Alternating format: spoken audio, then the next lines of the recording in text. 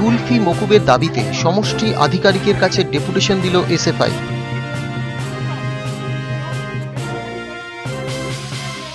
আসানসোল, রানীগঞ্জ সমষ্টি উন্নয়ন আধিকারিক দপ্তরের সামনে বিক্ষোভের মাধ্যমে স্মারকলিপি প্রদান স্টুডেন্টস ফেডারেশন অফ ইন্ডিয়ার পক্ষ থেকে।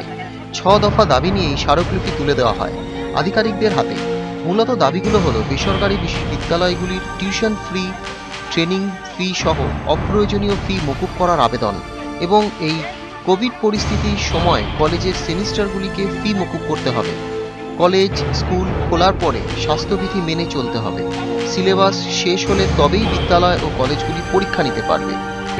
কি কারণে নিচ্ছেন না? সেটা আমাদেরকে লিখে দিতে হবে। আমরা এখান থেকে ফিরে যাব না। আমাদের সমস্ত ছাত্ররা এখন আমরা আবার এসে সাহেবকে যাব এবং এই দাবি নিয়েই থাকব। চলবে না চলবে না। অনলাইন বাধ্যতামূলক করা চলবে না। চলবে না স্কুল কলেজের ফিস অবিলম্বে মুকুব করতে হবে। করতে হবে করতে হবে।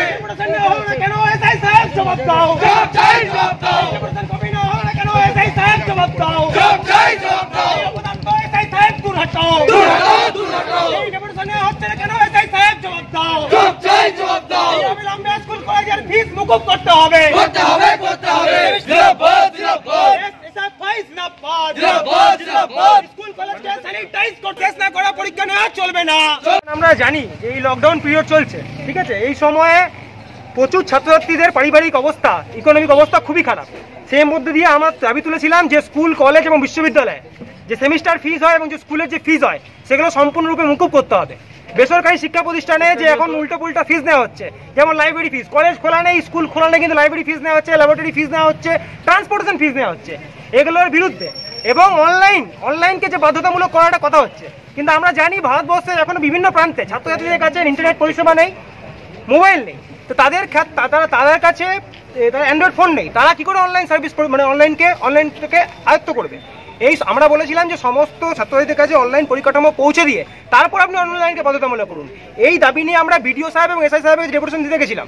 এবং বিডিও সাহেব আমাদের কথা শোনেন এবং তিনি বলেন যে তিনি এই তার আমাদের যে ডেপুটেশনের কপি সেটা রিসিভ করেন এবং তিনি বলেন সেটা তিনি ঊর্ধ্বতন কর্তৃপক্ষের কাছে পৌঁছে দেবেন। কিন্তু আমরা অবাক হয়ে গেলাম। এসআই সাহেব তিনি বলছেন তিনি এই কপি নেবেন না।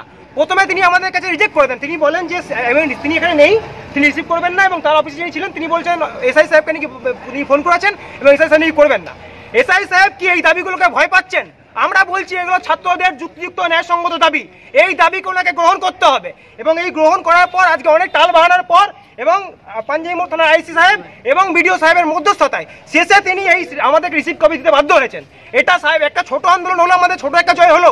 কিন্তু এই আন্দোলন এখনও চলবে। যতক্ষণ না এই এই যে আমাদের দাবিগুলো, এগুলো সম্পূর্ণ হবে, মানা হচ্ছে ফিজ মুকুব করা হচ্ছে, ততক্ষণ কিন্তু আমাদের এই আন্দোলন চলবে। কারণ আমরা আবার আসব। আমরা আবার আসব। এই জিনিসটা নার্সিং করতে যে কতদিন পর? এনারা কি অবস্থা নিলেন এবং তারপর কি অবস্থা হচ্ছে? এবং এরপর যদি এসআই সাহেব না নেন সেক্ষেত্রে কিন্তু মনে রাখবেন এসআই সাহেবের গেটটাতে আমরা এসে পাই ভারতের ছাত্র ফেডারেশন রানিগঞ্জ লোকাল কমিটির ছেলেরা ওইখানেই বন্ধ করে বসতে পারি এবং তাকে কিন্তু ওই অফিসের মধ্যে আটকে দিতে পারি। এই ক্ষমতাটা আমাদের এসএফ রানিগঞ্জ লোকাল কমিটির ছাত্রদের আছে। এটাই এটাই আমাদের বলার ছিল এবং আগামী দিনেও আমরা এই আন্দোলনকে চালিয়ে যাব। পরিচয়টা আপনার? আমার নাম গৌরব ধরলো আমি রানিগঞ্জ লোকাল কমিটির মেম্বার এসএফআই আসানসোল থেকে সৌমিত্র গাঙ্গুলি টাইমস বাংলা।